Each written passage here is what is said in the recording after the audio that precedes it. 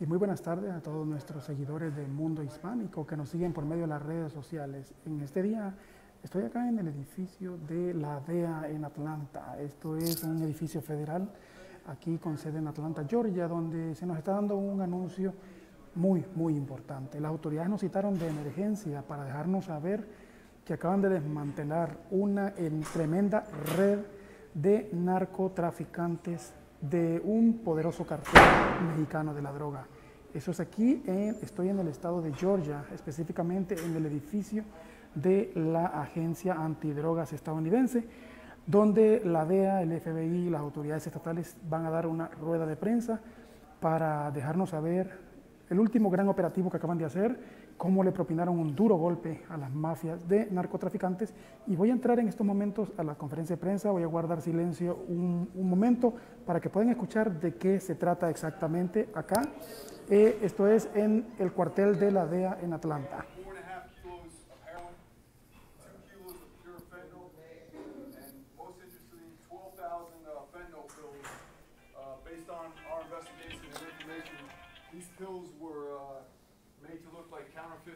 Oxycodone pills.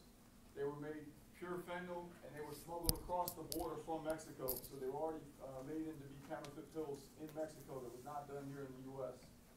Um, interesting enough in this case as well, uh, as we always know about that what comes along with drug trafficking, especially when you're dealing with these kind of cartels, is the violence. And during this investigation, the men and women DEA learned of a, uh, a contract hit that was put out by the cartel on a suspect that owed uh, money to the cartel and had not paid. They ordered them to uh, kidnap him. This person was going to be found in Fulton. They, they identified a house, a rental house they were going to bring him to in Fairburn. Uh, Georgia to torture. Uh, ultimately killed this person, disposed of the body, and, and uh, get rid of the vehicle. We were able to intervene based on the information we had and, and stop that from happening. And all those individuals that were, uh, orchestrating that were illegal, obviously, and involved with the cartel and are currently pending uh, prosecution by the United States government, U.S. Attorney's Office. Um, over 40 people were arrested in total in this investigation. Um, 24 of those, I believe, are going to be uh, prosecuted federally by the United States Attorney B.J. Pak and his office, and the rest are being prosecuted uh, by our state and local partners. Um, with that, I'll uh, take questions. Us a little bit more about the fentanyl and not just the quantity, but the manufacturing of it in Mexico, you say, and then it being brought here. What do you think that route was? Well, it definitely came across, uh, uh, we know exactly the route it came across the, uh, the border through Texas on the road here. What's unique to me, and normally we may see the fentanyl come across and then being Para las personas que recién se van conectando a este Facebook Live, y para las personas que recién se van conectando a este Facebook Live, estoy acá en el cuartel de la DEA en Atlanta, donde se está anunciando que acaban de capturar a un promedio de 20 personas, apenas hoy 20 personas que fueron arrestadas y según las autoridades pertenecen a una red de narcotraficantes muy violentos, según dicen, parte de un cartel mexicano de la droga. Nos estaba diciendo uno de los altos funcionarios de la DEA que todo ocurrió en la ciudad de Fairburn, donde hubo un secuestro, un incidente bastante violento. Thank you. Un incidente bastante violento donde hubo una persona que fue asesinada. Eso nos estaba diciendo en inglés el, el oficial del alto rango de la DEA. Vamos a volver a entrar.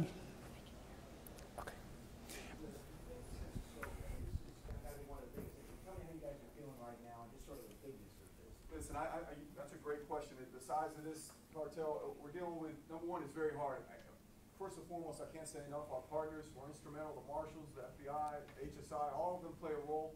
Everybody has a different tool set that they bring to the game. We cannot attack these cartels by ourselves. There's no one agency that has the resources. We're, I mean, just in what we see, you were looking at $2 million worth of drugs sitting on the uh, table here.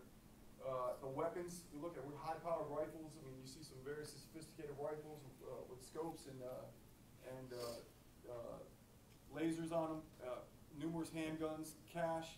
So very organized, spread out around. Again, it took time to keep to, to allow us to do the investigation, and again, it was complicated when we learned of a, a murder that was going to be taking place all over some money that was owed to a cartel. That's, I think, the importance of what people need to realize when they, especially when you come in and they start dealing with, you know, Americans that are used to one way of doing business in the U.S., but uh, these cartels are not playing. You can't steal product from them. We're not pay them back what they want without consequences. In this case, we have very detailed descriptions of what the consequence was gonna be. They wanted this person tortured, ultimately killed, and they even went to the, they, they- identified the house, it was a rental house that they didn't have, that they were just gonna use. Um, they were gonna just break in and use that house that was for rent, and they were gonna use, uh, uh, destroy the body and destroy the vehicle. Which means have the stuff off the streets for you. I'm sorry, i- i- this is very important for bringing off the street, especially, it disturbs me, the fentanyl and, and the pills that are made, Roxicodone. I mean, we got people struggling with addiction and, you know, nobody wants anybody to be addicted, but when they go on out and they think that they're buying at least something that they think to be a, a prescription pill, in this case Roxicodone, I'm not diminishing the, the potency of that, and that's a huge problem with itself, but these people are buying it and taking the dosage that they normally think they would take, and what they're ingesting is pure fentanyl. This fentanyl is poison, it's just poison, and that's what's driving the deaths.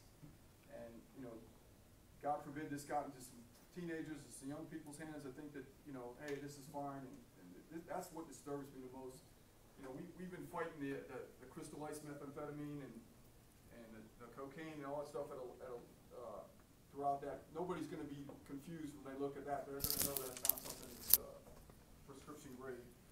Um, but the, the evilness of, you know, trying to create something that looks like a real product in order, just so it makes it more marketable and, and no, with no, no sense of, uh, care of what it's, what it's doing. I mean, they're, they're, they get news in Mexico just like we do, they know what we're dealing with here as far as the opioid crisis and the people that Could are you, dying. could you reiterate the number of fentanyl pills taken and what do you think the procedure was in Mexico? And eh, why, how do they get it here and it, it gets here, clearly? Clearly. Twelve thousand pills that we see as finished products, it was twelve thousand pills made to look exact, I think we could put two pills next to each other on a table, and you couldn't tell the difference between the real Roxy and, and then, uh, this counterfeit stuff. It, it's not hard, you can get the fentanyl, it's very, it's being, fentanyl's being produced now in Mexico.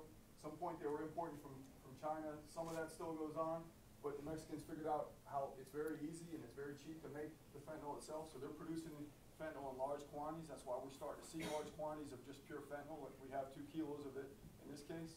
So it's very easy to press it into pills, and it's very easy to make them look, uh, like another pill. Um, you can buy the pill presses, we see, uh, people in the US buying pill presses on the internet, they're getting them shipped from China right, right to here, and then, and they're being used to press pills, yes, sir. Without giving away any trade secrets, I mean, how, but how, it sounds like you were working with informants, I mean, how did you guys get onto this? How did these? We had numerous investigative techniques, uh, again, you know, information that we get from, uh, people, uh, whether we call them informants or just concerned citizens is always crucial, that's where we start our investigations. And You know, give us a little bit of information, and with the resources that are represented here today, um, and some time, and, and this is what we can produce. I mean, we took forty really bad individuals off the street, uh, we prevented a murder. This, this literally could have happened, and then our, our local agencies would have been trying to figure out what had happened, and probably would never been able to solve it. We prevented it from happening, and these guys, uh, are gonna pay the price, and they'll be in federal prison for a while. What kind of message do you hope this sends to them? Well, it, again, you can be as sophisticated as you want, with little care about the citizen in our country, but that's not the case for us. We're gonna work diligently, the men and women of all these agency representatives tirelessly El funcionario de la DEA literalmente dijo que estos tipos van a pagar muy caro y que van a estar mucho tiempo tras las rejas. Eso es lo que espera y con este mensaje él planea mandarle un mensaje claro a los narcotraficantes de que van a pagar lo que están haciendo.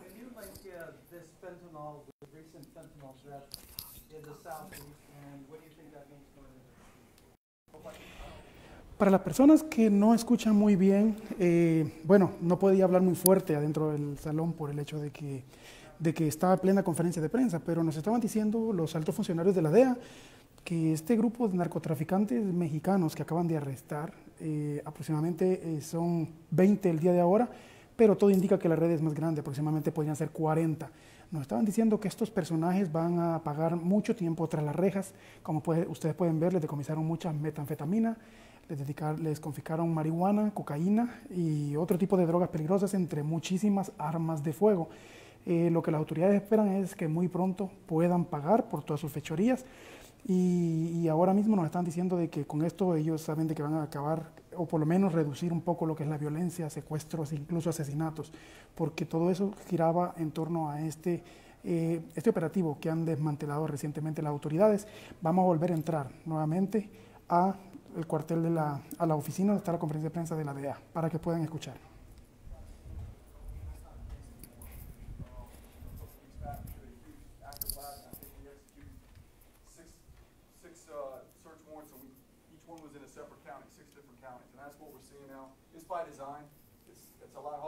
Enforcement to identify them, because the state locals, you know, they kinda stick to their county, and they don't really have time to go solve another county's problems or make that linkage. That's what we come in, and that's our expertise, but, so it's by design, they've learned over the years as we've arrested them and they, and prosecuted them, they've learned, you know, what to do. You mentioned Fairburn, can you say any other cities or counties? Well, Fulton, for sure, Fulton is where the person was that they were gonna kidnap and, uh, do, and they identified again, a rental house that, uh, they weren't gonna pay rent to, they were just gonna use Dex to, to conduct this murder. Well, for somebody watching at home, lives in Gwinnett, Rockdale County, Cobb County, there's twenty areas, twenty counties in our, in our community, obviously. What can you tell the folks at home, is, is this in your community or not? It's in all twenty counties, there is no county that's immune from this activity, I mean, whether it's the consumer, uh, whether someone consuming it, and I can tell you, uh, just from my, uh, experience, we've got drug trafficking and, uh, and cartels operating in all twenty of those communities. Does it frustrate you sort of that game of whack-a-mole, not to discount the great work you guys are doing, but every time, you know, we see one, others pop up and others keep going, is that? I'm not frustrated at all, I'm proud, I mean, it, this is, uh, this is something we have to do, I mean, does it frustrate me? Banks still get robbed? I mean, I, don't know how to answer that question, It- it's, it's just, it, I can't explain it, there's good, there's evil, and, you know, we're on the side of good, and these men and women wake up every day and go out there and, and do what they gotta do, so I'm proud, I, I have no frustration, I, I come to work every day, and like I said, I've never had a bad day in my twenty-eight, nine years doing it, I, I still believe in what we're doing, I think every, I know all the men and women that work for me have, they're raising families, they live in these communities too, they want a safe community, and they're gonna do whatever they can do to prevent it. Can you speak a little bit more of this Fairburn individual who was apparently targeted for not paying what was due the cartel? You said they were gonna torture him and you prevented a murder. Can you? I didn't say it was a him. You did not say it was a him. Well, it's just- I wanna make sure Was it a that, him or a her? yeah, it was definitely, well, I didn't say it was a him, it was a her. It was a her, I will go ahead and, it was, it was a her. Um, I can just, I- the only thing I can say about that person is, she's very lucky that we were investigating this thing, cause, uh, she's still here. But the I don't wanna, I wanna be careful that the US Attorney's Office go through the prosecution side of this. And I Well, guess how I'm- did they truck the, did they just truck all that fentanyl right across the border? How did they get those pills here Some to of it, begin with? it, it comes across, you know,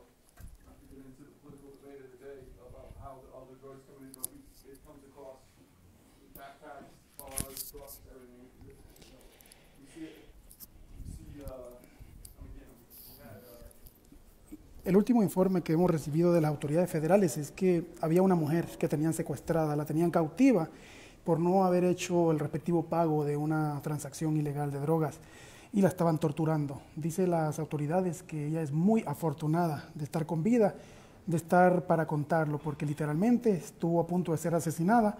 Le estaban torturando porque se había, le había quedado mal a los grupos de narcotraficantes. Esto es una mujer de origen hispano. Todos, según nos han dicho, todos los capturados son hispanos, latinos, eh, personas de, supuestamente relacionadas con un peligroso cartel de la droga mexicano. Eso es lo que nos está diciendo ahorita mismo lo que es eh, el jefe de la DEA. Y vamos a entrar nuevamente a la conferencia de prensa. No puedo hablar de adentro, por obvias razones, pero para que ustedes escuchen un poco cómo está el ambiente. Unos minutos, por favor. got opportunity to make real money that they can't make in Mexico, uh, so it's worth the risk, and there's no shortage of, uh, people that are willing to take that risk. No shortage of product or people. There's definitely no shortage of product, and, and more importantly, though, we- I think we focus on the product too much, uh, about how it gets into the thing. I think everybody, like, be to this at one point, we're focusing on the wrong thing. It's not how the drugs get here, because the drugs can get here, it's the cartels that are important, and they have, and they're getting their people here. And they're not coming across through the checkpoints. They're coming across, so, because they are not effective. They need people to be able to sell it, collect the money, and get it back. And it's not the product. I think we focus too much on the product and how it gets here. It's the people that are crucial to the cartel's success. They gotta have the people and, and predominantly, with the majority of them, the vast majority of them are illegal, and conducting this activity. Without those people, you can have all the product in the world here, it's not gonna, the cartel's not gonna work. That money's gotta, it's gotta get sold and money's gotta get back.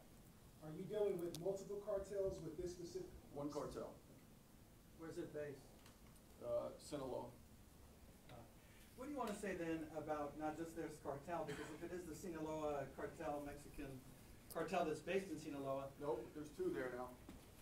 Haven't been to Sinaloa in a while. But what does this say about, so you cracked this back, but what's next? I think it's that whack-a-mole question again, because, that, that was my reference. How, what does this do to take the supplies off the streets of Atlanta?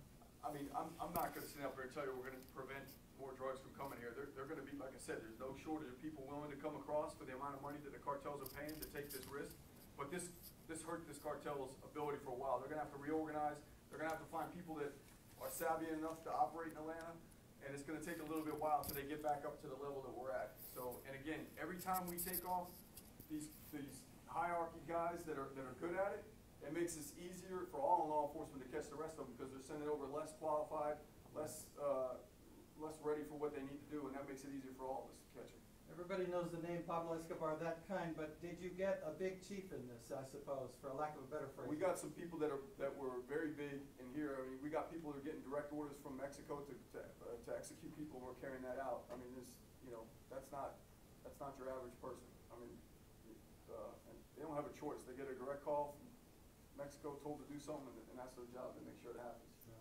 How much money did that woman owe the cartel? I don't remember, it wasn't enough to die over,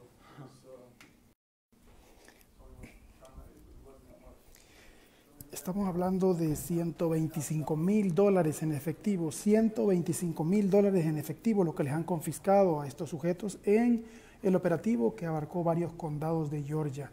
Eh, eso es lo que estaba diciendo el, el- el el agente federal de la DEA. Y no solamente eso, también decía de que el cartel de Sinaloa, el que está detrás de este operativo, y dice que tienen información confiable de que habían órdenes directas de ejecutar personas en Estados Unidos. O sea, en pocas palabras, habían conspirado para cometer asesinato. Eso es muy, muy grave.